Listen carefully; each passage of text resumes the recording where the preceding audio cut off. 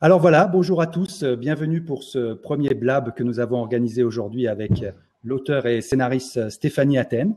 Alors, je me présente, Olivier Rebière, et je voulais simplement vous dire que donc ce, blab est organisé dans le cadre de la communauté Google Plus et Facebook qui s'appelle Fanel, formateur et auteur numérique en ligne. Alors j'espère que ça sera le, le premier d'une longue série avec aujourd'hui notre invitée Stéphanie. Et puis, bah, on va commencer euh, tout de suite. Vous verrez, on, parlera un petit peu de, de, Stéphanie, de ce qu'elle a fait. Et puis, euh, on va orienter un petit peu le débat en fonction de, de vos questions vers, disons, euh, des, des, aspects qui touchent un peu plus la cuisine d'auteur, comment est-ce qu'on écrit, comment est-ce qu'on market. Et puis, au bout d'un certain temps, eh bien, nous ouvrirons l'antenne à des personnes qui voudront intervenir directement via Blab et poser des questions à Stéphanie ou à votre serviteur. Voilà, alors on y va tout de suite. Bonjour Stéphanie, sois la bienvenue. Est-ce qu'elle m'entend? Tu m'entends Stéphanie? Oui. Ben, bonjour à tous, euh, bienvenue à tous. Ah oui, oui, moi je t'entends très bien. Il y a eu un, léger décalage de son. Alors, en fait, euh, ton, ton œuvre est quand même assez euh, touffue. Il y a, il y a, il y a, tu, fais des, tu écris des scénarios, tu écris des romans. Et on pourrait commencer par exemple par euh, euh, le dernier euh, de tes, de tes petits bébés là qui vient de sortir. C'est le tome numéro 1 de la série Les enfants de Pangée. Alors, est-ce que tu pourrais nous en parler un petit peu? Je l'ai lu, j'ai trouvé ça passionnant. Alors.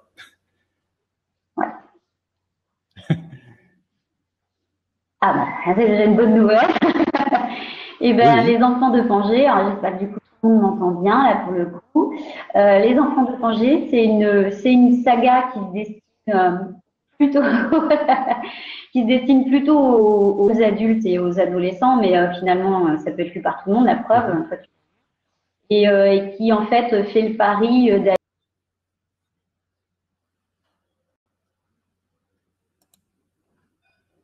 Oui. Alors j'espère qu'on entend encore Stéphanie. fantastique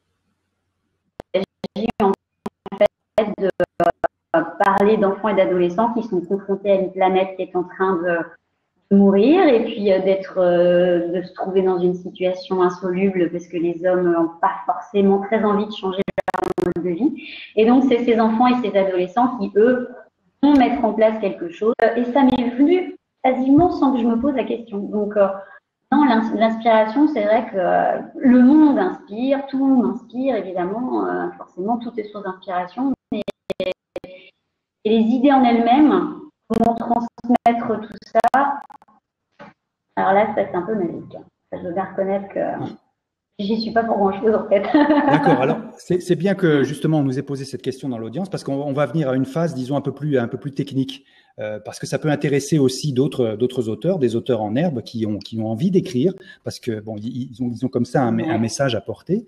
Alors Qu'est-ce qu'on pourrait, qu'est-ce que tu pourrais leur donner un petit peu comme euh, comme truc pour astuce, pour, comme comme astuce, pardon, s'ils ont envie d'écrire un roman, parce qu'on peut on peut on peut très vite être euh, comment dire accablé par la tâche, parce que c'est quand même euh, une organisation, c'est quand même quelque chose mm. qu'on doit élaborer, qui qui qui qui dure plusieurs mois, tout un tout un processus. Alors est-ce que est-ce que ça te dérangerait pas de nous expliquer un petit peu en grande ligne comment toi, Stéphanie, tu t'organises pour écrire un roman, par exemple?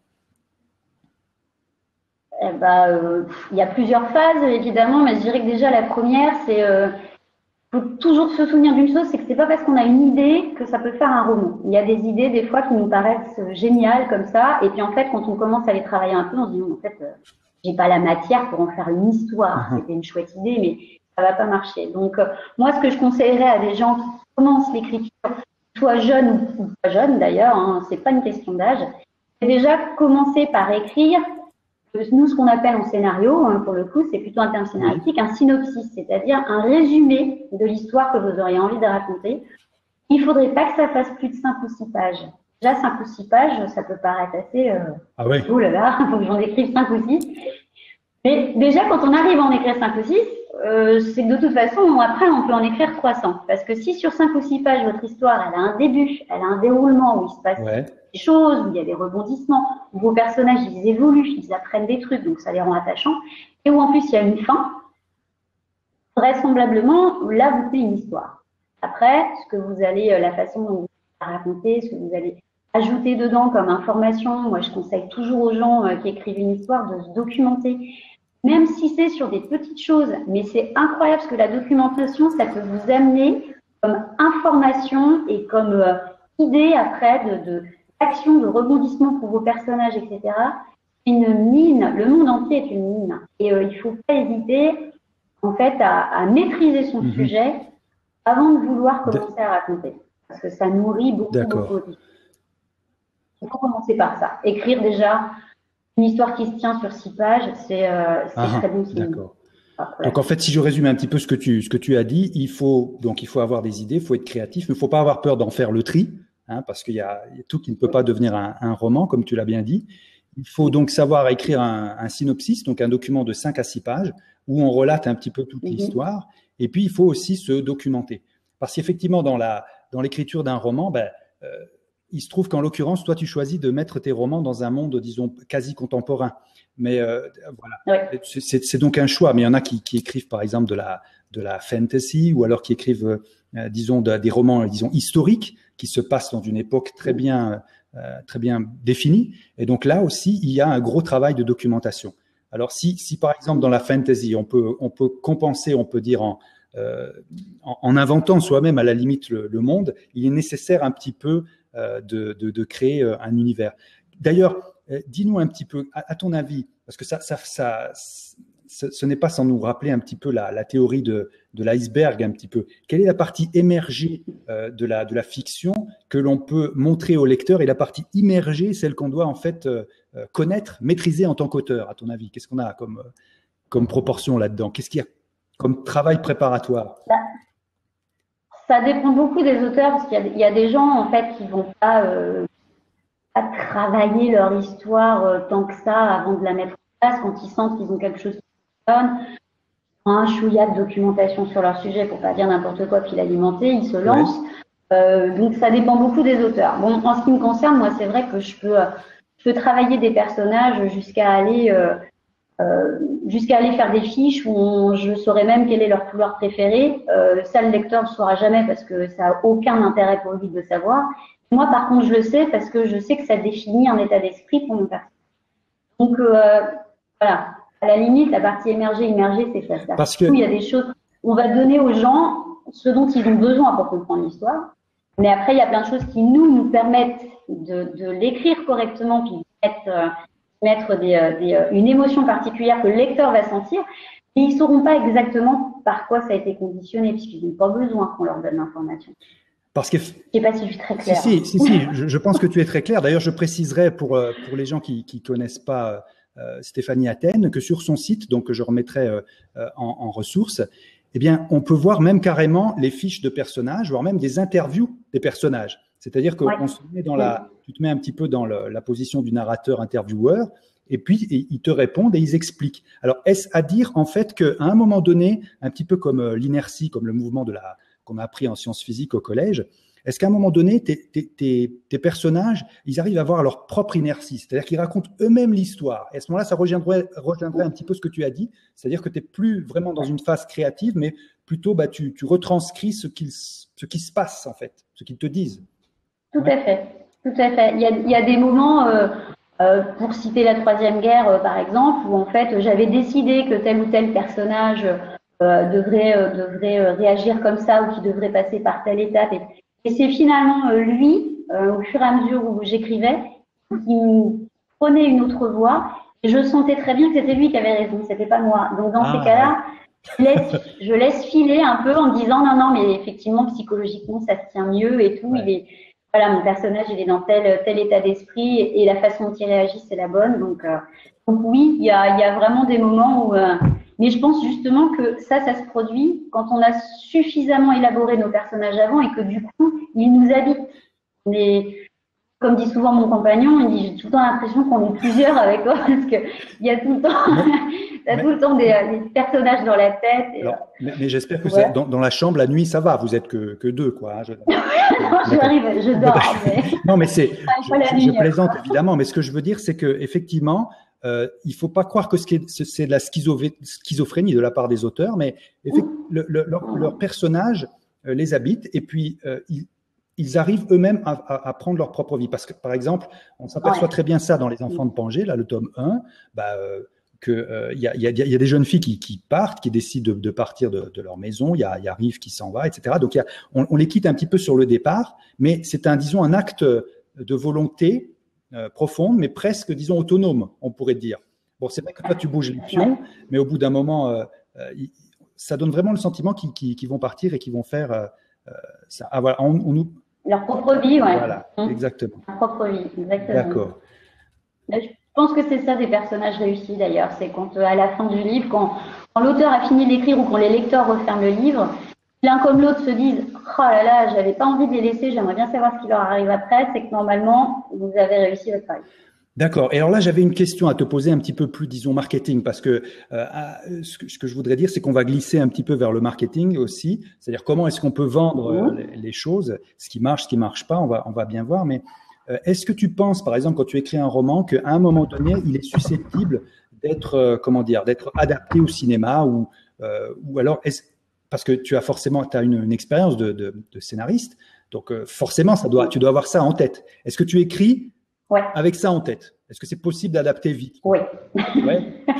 oui. Bah, mais pour le coup, euh, après, il euh, faut effectivement être scénariste pour commencer à écrire du littéraire en pensant déjà image, parce que euh, c'est difficile pour un auteur qui a jamais travaillé un scénario ou jamais travaillé dans l'audiovisuel, tout de suite penser en termes d'adaptation et tout ça, parce que pour le coup, il faut des connaissances euh, précises, hein, ça s'apprend. C'est pour ça qu'il y a des écoles de scénario et de cinéma d'ailleurs. Euh, ça demande une certaine technicité, ça demande quelques connaissances en en réalisation. On ne peut pas écrire un, un, un, roman en pensant adaptation si on ne sait pas ce que c'est qu'un scénario. Ça, c'est sûr. Moi, c'est vrai que de toute façon, je pense systématiquement quand j'écris en, en, termes d'image ou en termes d'adaptation ultérieure. D'abord parce que euh, je trouve que euh, l'image, ça complète magnifiquement bien un livre quand, quand c'est vraiment un complément du livre, c'est-à-dire quand c'est pas juste une espèce de transposition euh, un peu maladroite, euh, un univers qui fonctionne bien d'un point de vue littéraire, mais qui fonctionne bien d'un point de vue d'image. Donc, euh, moi, en ce qui me concerne, pour éviter justement ce genre d'adaptation maladroite, je pense déjà à adaptation en écrivant, comme ça je sais que même si, adap si adaptation il doit y avoir, il y a peu de chances qu'ils arrivent à viser à côté. Donc, euh, je leur ai préparé le chemin. D'accord. Donc, euh, oui, moi j'y pense. Et, et a fortiori que les enfants de plongée, qui est vraiment très une écriture très visuelle et très scénario. D'accord. Donc finalement, ce que ce qu'on peut retenir, c'est aussi que le bon le roman peut-être c'est un peu plus facile entre guillemets à écrire qu'un qu'un scénario parce que c'est peut-être beaucoup moins vaste et il y a peut-être moins d'aspects techniques. Est-ce que c'est plus facile ou peut-être je me trompe Est-ce que c'est plus facile d'écrire un roman qu'un scénario? Non, c'est plus facile. C'est plus facile surtout parce qu'on n'a pas du tout de contraintes. C'est-à-dire que si vous avez envie d'écrire dans votre histoire, dans un roman, 500 chevaux traversent la plaine. Ouais euh, vous pouvez. Dans un scénario, vous pouvez pas, parce que le producteur, il va tout de suite euh, vous dire, mais 500 euh, chevaux, je fais ça comment ouais, ouais, mignonne. Donc, euh, il me faut des images virtuelles, ou alors il faut que je trouve 500 bestiaux. C'est pas possible. Donc, euh, on est forcément beaucoup moins limité avec un roman. Caché, on peut écrire tout ce qu'on veut, comme on veut, dans le sens qu'on veut. Alors qu'avec un scénario, il y a un réalisateur qui passe derrière, il y a un producteur qui est dessus, il y a des acteurs, il y aura un monteur. C'est une œuvre collective, un scénario. Oui, bien Même sûr. quand un scénariste écrit tout seul, une œuvre collective. Il faut surtout pas s'attacher à son bébé, parce qu'on sait que de toute façon, il va être de toute manière transformé une fois le produit fini, c'est obligé. Alors qu'avec un livre, on est tout seul avec lui, c'est une autre et personne ne peut écouter en même. Oui. Donc c'est très différent. C'est vrai. Alors c'est très bien, tu m'as tu m'as permis de faire une super transition vers le marketing puisqu'effectivement euh, à chaque fois comment dire euh, à chaque fois ce sont ces produits ces bébés que l'on arrive à écrire en, en suant euh, et, en, et en passant beaucoup de temps dessus eh bien ça ça devient tout simplement un, un produit euh, assujetti à TVA etc bref mais il faut euh, comment dire il faut quand même se transformer après en en marketeur ou en marketeuse avertie et avec tout ce qui change en plus sur les réseaux sociaux en ce moment euh, c'est, ça devient, comment dire, un exercice d'équilibriste. Alors, est-ce que tu peux nous parler un petit peu de ta confrontation, je dirais presque, ton, de, le fait que tu sois percuté à cette réalité-là, que bon, bah voilà, faut marketer. Et, et, et ensuite, qu'est-ce qui t'a amené à décider de, de choisir une maison d'édition? Est-ce que c'est elle qui est venue vers toi ou, ou l'inverse? Est-ce que tu peux nous parler un petit peu des débuts? Et puis ensuite, on verra comment ça, s'est, mmh. comment ça a évolué.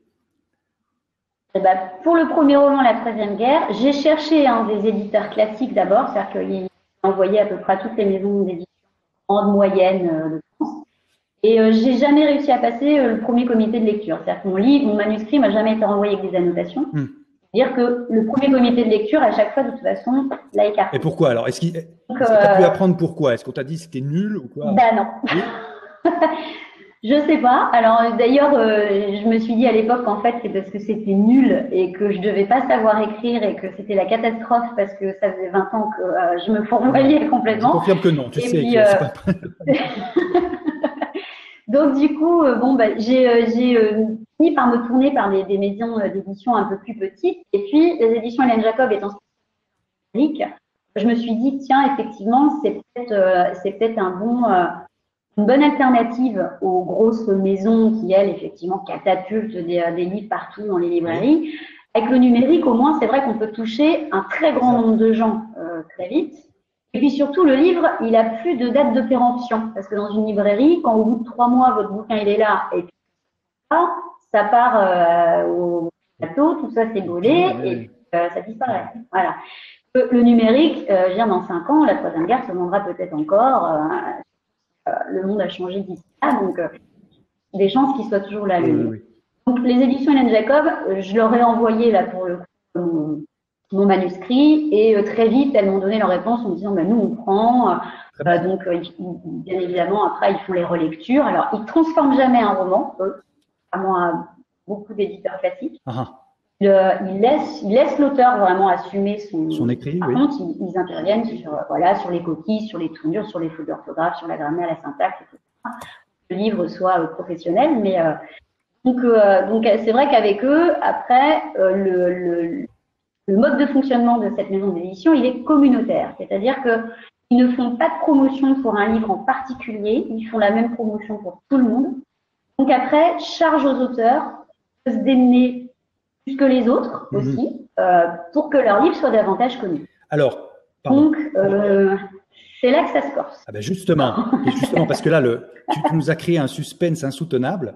Que doit faire notre auteur euh, en face de cet obstacle insurmontable? Comment, comment est-ce qu'il va agir? Eh bien, alors, moi, j'ai bon, je ne vais pas te donner de recette, hein, parce qu'après, il y a des gens qui font d'autres choses et pour lesquels ça marche encore mieux. Donc, en ce qui me concerne, comme j'avais écrit un livre qui était quand même euh, assez technique et qui parlait de beaucoup de sujets politiques, financiers, altermondialistes, etc., je me suis dit qu'en fait, si j'avais pas euh, l'aval de chroniqueurs euh, bien en vue, ah, on, on, voilà, on aurait du mal à me prendre au sérieux ou à se dire que le livre valait le coup d'être lu. Donc j'ai commencé par ça.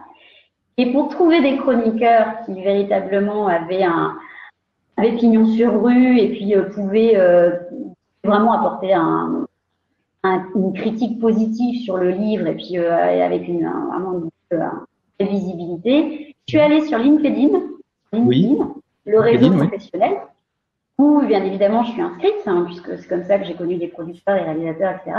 Et là, j'ai cherché des chroniqueurs donc plein, hein. j'ai envoyé, j'ai dû envoyer au moins 30 messages à des chroniqueurs.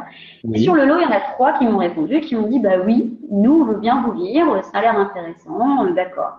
Super. Et donc euh, ouais. Et donc c'est ces gens-là en fait qui m'ont permis après, euh, qui m'ont vraiment fait des très belles chroniques. J'en ai une sur Mediapart, j'en ai une en littéraire. Ah Mediapart, oui. Autre, euh, voilà. Donc donc ça, ça m'a vraiment permis de gagner en crédibilité parce qu'après partout où j'essayais de promouvoir mon livre, je mettais un petit extrait de leur chronique. Un peu comme vous voyez sur les affiches de films, quand ils disent le Figaro a dit ça, première a dit ça. Moi, j'avais fait pareil pour mon livre. et du coup, ça, ça, ouais, ça a créé un indice de confiance pour les gens qui ne le connaissaient pas encore.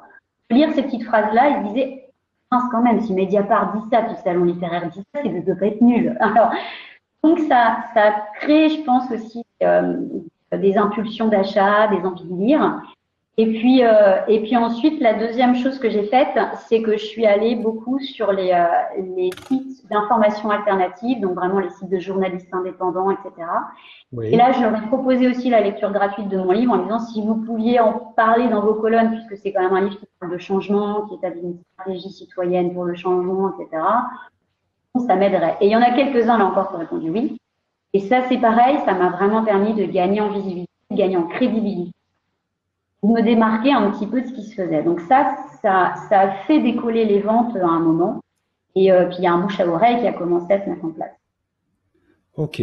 Donc voilà, ça c'est des petits trucs, euh, c'est des petits trucs qui peuvent être bien en fonction, en fonction de ce qu'écrit l'auteur, de, de, sa spécialité. Il faut qu'il aille chercher les, les, chroniqueurs qui vont être sensibles à ce type de littérature ou les, les sites de journaux ou peu importe. Hein. Après, il faut, réfléchir à son livre et se dire ça peut intéresser de lire et d'en parler.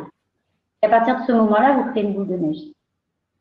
D'accord, ben ça c'est tout à fait intéressant ce que tu racontes. Euh, tu, parles du concept, disons, de, de, boule de neige et du concept aussi de comment dire de preuve sociale, puisqu'effectivement il faut commencer à augmenter euh, ce terme marketing qu'on appelle la preuve sociale, c'est-à-dire euh, bah, que tu commences à exister sur les réseaux sociaux, sur Internet, etc. Et donc, on voit que tu as fait ça d'un biais qui, qui, était assez inédit. C'est en fait, tu as cherché des chroniqueurs ou, ou des chroniqueuses sur LinkedIn un endroit où peut-être on ne s'attendrait pas à, en voir. Mais il y a des chroniqueurs apparemment sur LinkedIn. Et donc, tu as pu obtenir comme ça sur Mediapart euh, des, euh, euh, des, des, petites chroniques qui ont, qui ont fait que ton, livre soit connu. D'accord. Et ensuite, tu as proposé des lectures gratuites auprès de, de, de poules de journalistes indépendants. Donc, ce sont de, très bonnes idées. OK. Eh bien, écoute, c'est pas... Que, voilà, que, les, les auteurs puissent les mettre en pratique, ils essayent, parce que c'est vrai que c'est et puis je pense qu'en plus, euh, voilà, on a tous tendance à utiliser un petit peu les mêmes voix euh, pour se faire connaître. Et au bout d'un moment, euh, les, les, chroniqueurs qu'on peut trouver sur leur propre blog littéraire et tout, ils sont déjà tellement, tellement, tellement pris par des pris d'assaut par les auteurs qui disent bah, lisez-moi, lisez-moi, chroniquez-moi. Il faut essayer de trouver maintenant d'autres façons de faire parler du livre et effectivement de s'adresser à des professionnels ou à des sites d'information et tout. C'est une autre voie quoi. Et, ça peut marcher. Alors, avant d'ouvrir, euh, je te remercie Stéphanie Athènes, avant d'ouvrir un petit peu le, siège à, un ou plusieurs auditeurs, j'aimerais donc expliquer que euh, cet entretien est dans le cadre de la euh, communauté FANEL, ça veut dire pardon, formateur et auteur numérique en ligne, qui existe sur Google et sur Facebook, et dont la vocation, si vous voulez, est d'aider les formateurs et les auteurs à, à marketer ensemble, à collaborer de façon tout à fait, comment dire, sympathique et collégiale. Alors, donc maintenant, je vais, je vais passer aux questions euh, des auditeurs. Donc, je vais ouvrir, euh, euh, voilà, je viens d'ouvrir un, siège. Alors, j'invite les personnes qui, qui, souhaiteraient poser des questions à, à Stéphanie Athènes euh, d'intervenir directement. Donc, comme ils disent les Anglais, to jump in, donc sauter sur le, sur le siège. Alors, pour cela, vous devez avoir en principe euh, donc un, petit, la, une des, la troisième case qui s'est activée en bas avec une espèce de petit cercle comme ça qui, euh, avec marqué call in dedans, appeler. je vous invite à rentrer à l'intérieur si vous souhaitez le faire pour poser directement vos questions. Alors attention, vous êtes en direct et euh, faites attention de ne pas dire des bêtises. Soyez sympa, soyez poli. Alors, est-ce qu'il y a quelqu'un qui souhaite rentrer? Je sais qu'il y avait peut-être Lola qui souhaitait le faire. Est-ce qu'il y en a encore d'autres personnes? Allez, n'ayez pas peur. Ouais, on, a une, on, a une, question écrite euh, sinon sur le côté là. Ouais. Alors vas-y. Alors attends, je, je, vais, je, vais relayer la, je vais relayer la question écrite pour, pour la poser donc à Stéphanie. Alors, est-ce que tu est-ce que tu penses que ton propos altermondialiste aura dérangé certaines maisons d'édition et t'auront obligé à utiliser d'autres voies Alors. ça, ça euh, c'est difficile d'y répondre parce que dire oui, euh, ça serait faire de peu d'humilité, je pense, parce que je, je pense sincèrement pas que ça soit si, euh, si contrôlé que ça et si euh, non, ça m'étonnerait. Euh, D'autant qu'il y a quand même des maisons d'édition qui, euh, qui des ouvrages, notamment ceux d'attaque, par exemple, et qui n'hésitent pas à les diffuser partout. Donc non, je pense pas. Je pense juste que euh, je sais pas, ils se sont peut-être dit que c'était pas, euh, c'était pas le bon moment, que ça les intéressait pas, que c'était pas trop. Et puis j'ai eu, j'ai eu un jour un, un indice qui m'a été donné par Edouard euh, Brazet, qui est un, auteur euh, très prolifique, puisqu'il en est à 70 romans et plusieurs littéraires. Et puis il m'avait dit, est-ce que tu as envoyé ça, par exemple, chez Albin Michel? Je dis bah oui, oui. Bah oui, mais le problème, c'est que dans telle maison d'édition, ils ont déjà Bernard Werber. Et dans cette autre-là, ils ont déjà Musso. Et puis dans cette autre-là, ils ont euh, Chatham. Et, et, euh, comme c'est un peu dans ce genre de veine-là, c'est-à-dire un, roman qui reste quand même grand public et qui aime bien euh, taper sur des, des, des, aspects un peu un peu pointus de notre société et tout, il dit bah ils vont pas faire doublon, hein, ils vont pas en prendre un deuxième qui leur ressemble. Et là, pour le coup, je pense qu'en fait, les places assises sont prises et que ah, euh, c'est trop tard. Ça y ressemble, quoi. voilà. Donc, euh, je pense pas, je pense pas avoir été, euh, avoir été euh, trollé, mise de côté. je pense pas. Après, ah, je suis pas dans leur petit papier. Hein. Ah, une toute dernière. Alors, encore une fois, est-ce qu'il n'y a pas quelqu'un de, l'audience qui souhaite s'exprimer, poser ses questions en direct à, Stéphanie Athènes? Il ne faut pas hésiter. Hein? Sinon, est-ce que tu peux parler de, de, ton actualité? Est-ce qu'il y a des, euh, un salon ou des projets que tu, que tu vas lancer dans les, dans les mois qui suivent? Euh, Alors, euh, non. Enfin, les salons, j'y vais pas. Non, ah. les salons, j'y vais pas. Ben non, parce que en fait, quand on n'est pas un auteur envoyé par sa maison d'édition, les salons, c'est payant, c'est cher. Oui, oui. Il faut déplacer, il faut emmener des exemplaires qu'on fait soi-même. il faut beaucoup de choses quand on s'appelle pas Guillaume ou Bernard Werber, il faut se débrouiller tout seul avec ses deniers, donc euh, c'est très compliqué. Surtout quand justement on ne gagne pas bien sa vie en tant qu'auteur, hein. c'est une spirale euh, infinie. Donc les salons, euh, non, j'en fais pas. J'ai des, interviews, des webinaires, des petites choses comme ça qui se mettent en place les, mois, les mois prochains. j'ai un projet de long métrage, là pour le coup, je suis en train d'écrire un scénario de long métrage pour, pour un producteur et un réalisateur. Donc, et puis, bah, j'ai le tome 2 euh, des Enfants de Tanger euh, qu'il faut que je termine et euh, qui doit sortir en février. Donc, voilà. Mais sinon, d'un point de vue marketing, visibilité, j'ai, j'ai pas véritablement de date et d'événements, événements précis à communiquer pour l'instant. D'accord, d'accord. Bon, ben c'est pas bien grave. Mais oh, je vois que voilà, on a encore une question. Donc, pourquoi tu n'as jamais été sur un sur un plateau télé? Mais je veux dire ça. c'est pas évident. Je veux dire, on n'y va pas comme ça dans, sur un plateau télé. Euh, ouais, c'est ouais, tout le sujet. Que, euh, effectivement, j'ai essayé. Hein, ça, enfin, j'ai essayé. J'ai contacté, euh, j'ai contacté divers plateaux, j'ai contacté euh, divers chroniqueurs télé, en, surtout après avoir eu des, bonnes chroniques assez vite. En disant peut-être qu'ils vont avoir envie d'inviter un, outsider et puis d'en parler. Euh, effectivement, on dit souvent qu'il faut des dessous de table dans ce milieu-là pour vraiment pouvoir entrer et que euh, c'est versé euh, voilà, par les éditeurs ou parce qu'ils veulent rendre très vite leurs auteurs, leurs œuvres. D'accord. Moi, moi j'aimerais donner un, message quand même positif. Je veux dire, maintenant, il ne s'agit plus de d'utopie ou de dystopie. On est bien dans la réalité. On est bien dans Internet. Et je peux vous dire que on peut utiliser ce genre de de blab, on peut blablater ensemble pour, pour essayer de faire connaître de façon complètement alternative euh, les, euh, les œuvres de nos auteurs. Donc c'est pas c'est pas un problème. Déjà je remercie les personnes qui ont qui ont souscrit. Euh, là c'est très sympa de votre part. Il faut, si vous voulez encourager Stéphanie et les autres auteurs que, que j'ai invités, j'ai déjà, enfin j'ai déjà une autre personne. On est, c'est difficile de convaincre aussi les, les, les, francophones, non pas Stéphanie, mais je veux dire, il y a, il y a des auteurs qui sont extrêmement crispés, quoi. C'est très difficile de leur de leur faire dire, bah ouais, mais il faut quand même souscrire à un compte Twitter, bon d'accord, et puis Facebook, là là là. Mais je veux dire, c'est une manière de, de le faire, et puis ensemble on pourra euh, ensemble, on pourra tout simplement faire connaître les, les œuvres des uns et des autres. D'accord? Oui, absolument. Ok. Alors, euh, bon, oui.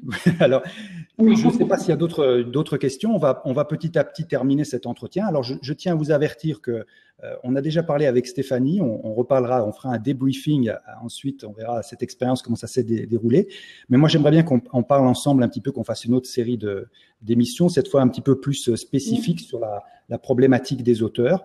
Vous êtes cordialement invité si cela vous intéresse si vous êtes formateur et auteur numérique en ligne, à rejoindre notre communauté euh, Google donc de préférence, c'est Google c'est un peu plus sympa, mais Facebook, si Google vous fait, vous fait peur. Et puis on, on parlera aussi de la partie, disons, euh, euh, formation, c'est-à-dire comment est-ce qu'on peut créer du revenu durable sur Internet avec des formations vidéo. Et, pour, et les auteurs et les formateurs, si vous voulez, ils ont ça de commun, ce qu'on appelle le marketing éducatif d'une certaine manière. Mm. Je pense qu'on gagnera beaucoup plus à, à, éduquer, entre guillemets, euh, nos, nos, lecteurs ou nos étudiants en leur expliquant tout simplement, en faisant ce genre de, de, de, de discussion informelle, plutôt que dans, en, en, leur assénant comme ça sans arrêt euh, des, des, des, messages un peu agressifs sur nos, nos, livres, etc. Bon, il faut bien vivre. Tout le monde sait qu'il faut vivre, mais on peut faire le marketing autrement. Voilà. Bon, alors, je demande une dernière fois, donc, s'il y a des personnes qui souhaitent intervenir, je, je les invite cordialement à, à, sauter dans le, dans le siège qui est libre. et, puis, et puis à poser des questions. Il n'est pas un siège éjectable, hein, non, non, pour l'instant, non. Et euh, bon, en, quoi qu'il en soit, donc euh, nous, nous mettrons sur le sur le site de, euh, de Stéphanie que vous voyez ici affiché, d'accord Nous mettrons sur le site euh, la, le compte rendu de cette vidéo. J'ai peur que malheureusement il n'y ait pas toute la vidéo qui soit affichée parce qu'il y a eu ce petit problème technique. Mais rassurez-vous, avec le temps, euh, on arrivera à, résoudre ça.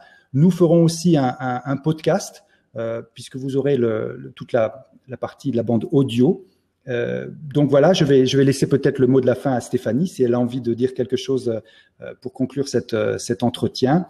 Voilà. Bah, oui, je vais, je vais remercier tous les, tous les auditeurs pour leurs très gentils messages dont j'ai été gratifiée tout le long parce que là, moi, je oui, les vois vrai, oui. apparaître régulièrement. Donc, euh, donc euh, bah, merci infiniment. C'est euh, aussi pour ça que j'écris d'ailleurs. C'est parce que voilà, j'ai envie d'avoir des, les réactions des gens et puis j'espère des réactions positives. Donc là, c'est ce que je reçois. Alors, ça me donne qu'une envie, c'est de continuer encore et encore. Donc, bah, merci infiniment déjà d'avoir participé, d'être venu. Et puis, euh, et puis, bah, n'hésitez pas à revenir la, prochaine fois et à poser des questions plus précises si vous en avez. On se fera un plaisir d'y répondre. Ok, bah, je vois qu'effectivement c'est assez encourageant. Donc, je vous donne rendez-vous pour le prochain Blab. Je ne sais pas exactement quand ça sera. Peut-être qu'on décidera de faire, si vous voulez, un rendez-vous hebdomadaire à peu près à heure fixe. Mais quoi qu'il en soit, si vous ne pouvez pas y assister, vous recevez donc un lien qui est envoyé par Blab pour revoir tranquillement, comme vous le voulez, sur n'importe quel écran, la bande audio ou le, la vidéo pour voir euh, tranquillement comment on a discuté. Alors, encore une fois, je vous remercie. Je vais bientôt arrêter l'enregistrement. Le, et puis, à la prochaine fois. Merci à vous tous. Passez une excellente journée sur notre petite planète qu'on voit ici en haut à droite, où que vous soyez. Merci et au revoir.